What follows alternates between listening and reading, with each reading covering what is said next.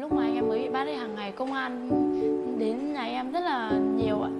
Hay là đêm hôm họ rình mò, rồi là dân làng hàng xóm thì là dị nghị, thì ờ, nói anh em chung là trẻ con thì biết gì mà uh, nói hoặc là trứng lời chọi với đá. Chung là nhiều lắm ạ. Thì giải thích cho anh em thì, thì uh, nghĩa là em muốn mọi người là tìm hiểu thêm về chính trị về Ờ, sự tình đất nước của ờ, mình ấy rồi thì Việt Nam mình rồi hẵng đi nói anh em ấy. Vì uh, em nghĩ là những người nói như thế em cũng không trách nhưng những người nói như thế là em chắc chắn là họ không hiểu và không xem uh, tình hình đất nước của mình bây giờ ra sao ạ. Em sẽ giải thích là anh em không làm gì cả anh ấy chỉ có uh, viết báo thôi. Viết báo thì bây giờ tham nhũng tham ô rất là nhiều anh em cũng chỉ viết như thế thôi. Em nghĩ là không có gì sai cả bây giờ. Bây giờ nó không cho nếu sắm đồ ăn thì nó không cho mình mang một cái gì của nhà mình đi cả. Coi như là nó bắt đóng tiền vào trong trại và nó mua tuyển đồ đắt thôi. Đấy, cứ cân hoa quả chẳng hạn, cân nhãn ở ngoài bây giờ thị trường chỉ 25 30 nghìn vào trong là cứ phải tầm 4 50 nghìn một cân. Cái gì cũng thế, mua một cái lon nước. Đáng nghe ở ngoài mình chỉ 8 10 nghìn trong là cũng phải 15 17 nghìn một một lon. Mua mà mỗi một lần là chú mà đi thăm này ạ. Đi như chiều hôm nay là một, nếu như hôm nọ mọi khi chú đi mà chú đi ô tô ấy là cứ một rưỡi là chú ở nhà đi. Đi về đến mỹ đình chú lại bắt tiếp một xe nữa về đến ờ, dưới cổng trại đấy thuê ở một nhà trọ, thuê một cái nhà trọ, phòng trọ ở dưới đấy. Sang hôm sau về là cứ mỗi một lần đi này là về mệt là phải mất ở bốn năm ngày mình có mới đi làm được thì mới lại lại mới đi được. Nếu mà muốn đi được ba bốn người đi thăm là mình ờ, mà đi thì như thế thì mình lại phải thuê xe. Cứ 3 giờ sáng này là mình nhà mình đi thì về đến dưới là tầm 8 giờ 7 giờ là mình làm thủ tục vào thì mình về trong ngày. Là cứ mấy một lần một chuyến mà đi như thế gửi, vừa tiền gửi, vừa tiền xe, tiền ăn uống là mất, nó phải mất tầm 7 đến 7 triệu rưỡi. Thế còn một mình chú đi là cứ phải mất tầm 4 đến 5 triệu. Là cả tiền xe, cả tiền ăn là cứ phải tầm là 5 triệu. Vì em nó ở trong này nó lại không như người khác, nó thương người lắm. Nó bảo ở trong là có mấy anh là còn đợt nọ là còn có cả mấy anh ở trong gia lai ấy là nó khổ coi như là có đến hàng nửa năm có gia đình không đến thăm được. Thế là cháu nó phải mua sữa thuốc thang các thứ nó ốm hàng ngày này. Với lại dầu rồi gội đầu hay là những gọi là cái cái thư trang của mình mà dùng cá nhân của mình dùng hàng ngày này này. Không có cháu nó lại phải bỏ tiền nó mua để nó giúp anh em. Thế cô... nhà thì giờ có hai đứa con.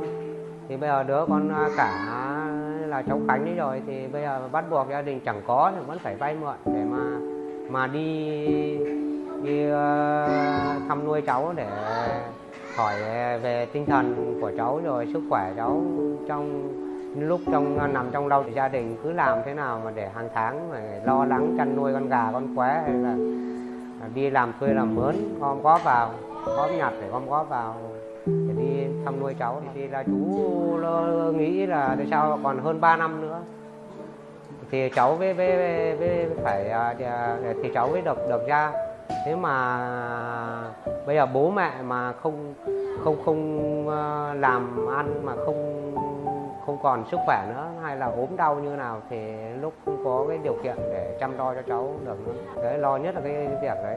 Còn à, việc à, việc của cháu thì ở trong à, tù thì nó ốm đau bệnh tật thì cháu nó thật ra thì cháu nó không nói bao giờ không bao giờ bố con bố để à, ai nó nói với bố là giờ con ốm nọ hay con đau nọ con đau kia cháu không bao giờ là cháu cháu nói chuyện ra cho bố mẹ. Nhưng mà à, chỉ có cái tinh thần của cháu là nhiều lúc bố về thăm có cái tinh thần cháu vẫn có cái buồn bã về cái việc việc của cháu làm gia đình với gia đình phải vất vả cho cháu.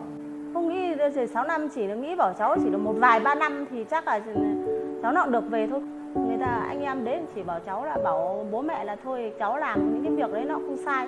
Nên là chắc chỉ vài ba năm mà nó về thôi không phải không phải lo. Không nghĩ là 6 năm lúc mà nó xử 6 năm là có đều mọi người là anh em là cũng cút cụt hẫng rồi theo như cô ấy, thì bây giờ rồi sau mà cháu nó có ra ấy, thì chắc chắn là nó đi làm thì nó chỉ có đi làm những cái ừ, theo như cô nghĩ thì nó chỉ có đi làm những cái ừ, xin những cái việc ngoài thôi. Chứ còn nếu mà để vào, vào mà nó liên quan đến nhà nước hay liên quan đến chính trị thì ờ, không bao giờ có nữa. Ờ, theo cô nghĩ là nghĩ như thế. Nếu mà nó cháu nó về mà nếu mà nó con theo đường đấy cái gì mà đã, đã nguy hiểm quá thì thôi. Còn cái gì mà con nghĩ được là cái thời bây giờ mà làm đúng thì con cứ làm. Cô không không ngăn cản vì con chẳng làm gì sai cả.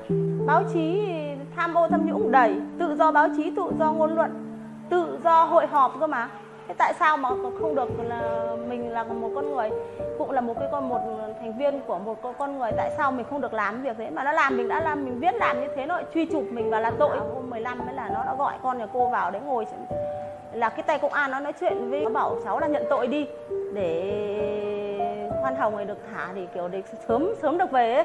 nó nói thì thôi nó không bao nó khoan hồng cho mình đâu chẳng qua là nó đang dụ dỗ mình. Nó dụ dỗ mình để nó uh, mình nhận mình nhận là mình là mình thua nó. Thế là nhưng mà con cô con cô nó không quyết lắm nó không nhận nó không ấy đâu. Nên là kệ nó. 6 năm được. Nó phải 6 năm 6 năm được. Con cứ ngồi ờ, con cứ, cứ ở, ở trong á. Nó đã kết án con 6 năm phải 6 năm nó mới thả. Nên là cô con cứ yên trí cô ngồi trong. Không phải lo gì ngoài này bố mẹ còn nhiều người cũng vẫn đồng hành với con. Gia đình giờ ra như gia đình nhà cô cô chỉ mong muốn là như uh, vợ bố mẹ ở nhà thì là bố mẹ không, không biết được những cái đường để chạy chữa cho con. Thế bây giờ có bố mẹ tất cả gia đình chỉ mong muốn là à, các uh, cô chú những người ở bên uh, hải ngoại quốc tế các uh, ban ngành ở quốc tế kêu gọi gọi để thả cho sớm cho cháu sớm ngày nào thì tốt ngày đấy.